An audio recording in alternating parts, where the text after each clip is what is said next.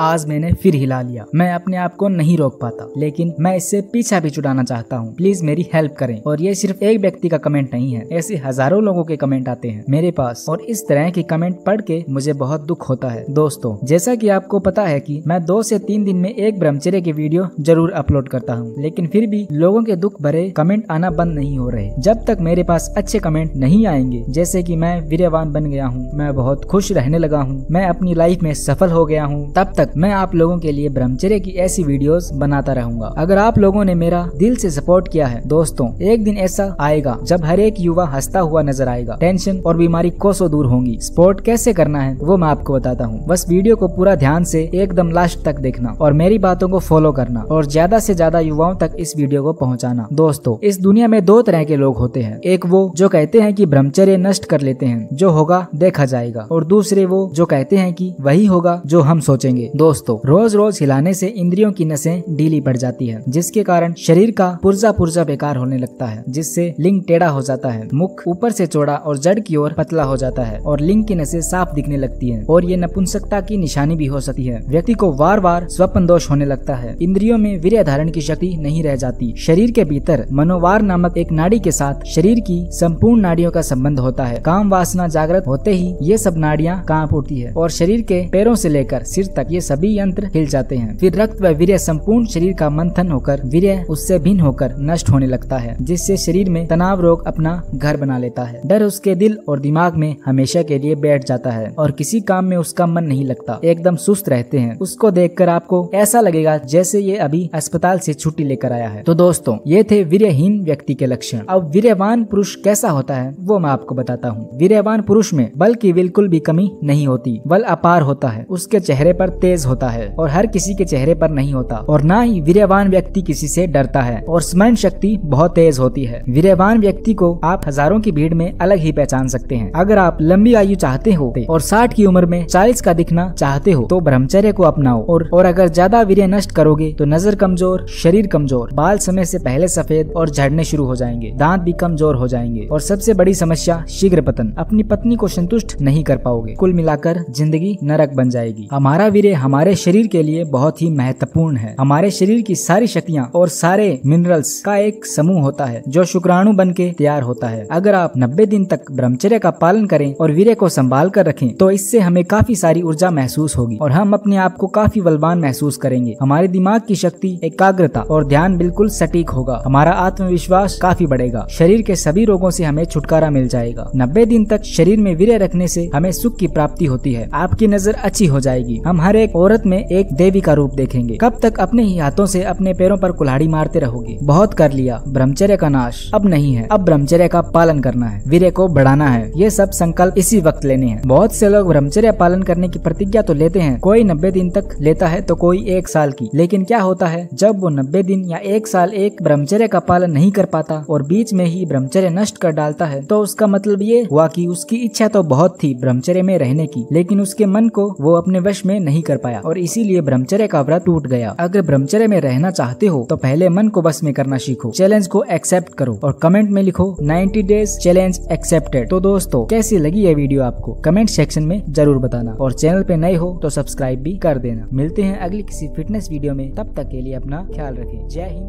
Jai Bharat.